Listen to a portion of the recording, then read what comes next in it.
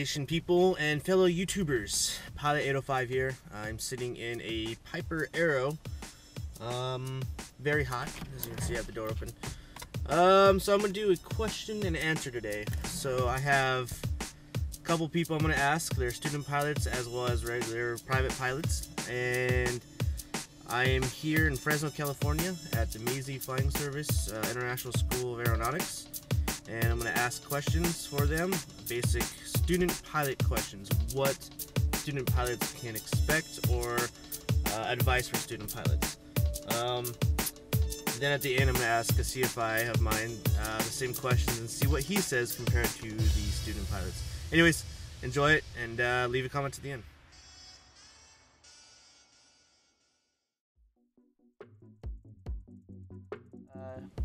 choose a good school that's really important to determine whether you're going to go to the aviation world because by using by entering into the good school you are making good progress and making your flying skill become a better place i think that's one of my advice for the future student so you have to prepare all the stuff i mean like the money and then all the required documents medical and you have to like see if the school is legit or not. And I believe like part 61 or part 141.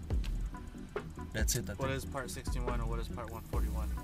Basically, part 61 is the less, uh, basically part 61 less structured compared to part 141.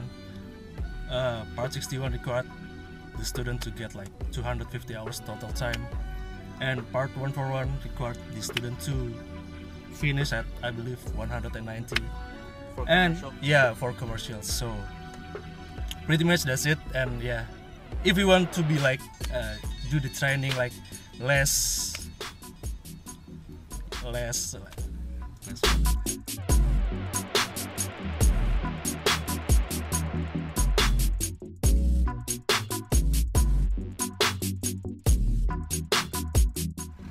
The hardest part of the flying, in my opinion, is landing.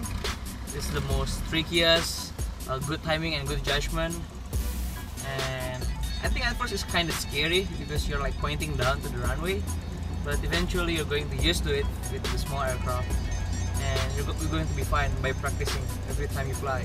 So the hardest thing for me is the pilotage or the navigation because when you are comparing the actual with the chart, uh, it's kind of similar, but you know, uh, it's sometimes uh, get like con- confused because yeah, it's for me it's very hard, you know.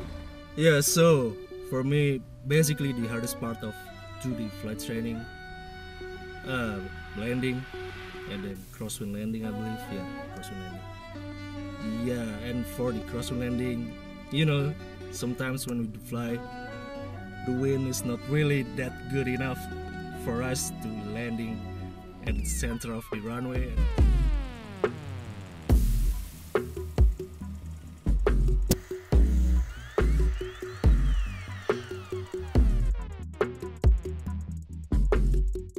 The reason I want to become a pilot is because I can see the world with a different perspective, and, and not a lot of people is entering to the aviation world. That's why I think it makes more challenging and fun. It's my dream since I was a child to be uh, flying the airplanes. yeah, the reason why I, I want to become a pilot is from my childhood dreams.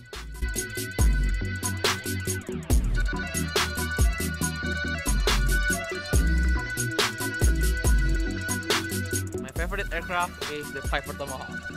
Uh, that's my first aircraft that I'm flying, and I'm still only fly that aircraft, but it's pretty good. Yeah, I think Tomahawk because the first airplane that I I fly with, with it, and then that's the only thing I fly until now. So why are you standing next to a Cessna? My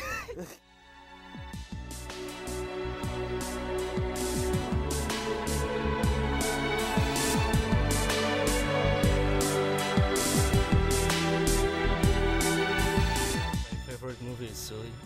Why I love that movie so much is basically because as a movie or as the whole movie, uh, it gave us as a pilot that like the new insight that we have to like prepare all the emergency situation. Even when we just took off then yeah it suddenly happened. So it gave us a point of view like a new point of view of, of emergency as a pilot and how to handle that one